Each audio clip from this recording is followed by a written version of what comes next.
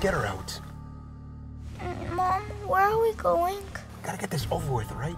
Okay, make sure she doesn't cry because that noise makes me sick. Come on, get in here. Let's go. Goodness sakes! What you're trying to say is we've got nothing left, okay? We've been struggling for 19 years now. Johnny, please. No. You know what? I can't stand this anymore, okay? I mean, she obviously doesn't care about us, okay? I say we go. We, ju- we just go, okay? I'm so sorry we bothered you, dear.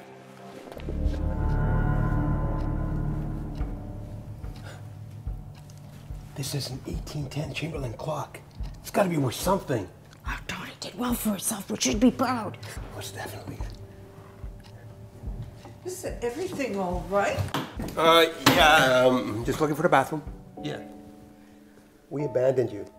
We didn't want you. Okay? That's the cold hard truth, honey. You know what? You are a difficult, nasty child. And look at you now. Nothing's changed. Oh, does that make you feel better? Huh? Is that the closure you wanted? Let me tell you something, all right? If I can go back, I would abandon you again. You know why? Because you're useless!